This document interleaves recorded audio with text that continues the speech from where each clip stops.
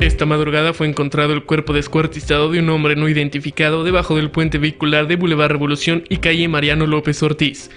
La delegación Laguna 1 de la Procuraduría General de Justicia del Estado informa que a las 2 de la madrugada se recibió el reporte sobre dos bolsas negras de plástico con restos humanos en el lugar mencionado, a donde acudió más tarde el agente investigador del Ministerio Público de Delitos contra la Vida y la Salud Personal. Los representantes de la Procuraduría de Justicia localizaron las bolsas de plástico y en la primera de ellas se encontró el tronco del cuerpo de una persona del sexo masculino y en la segunda bolsa las extremidades.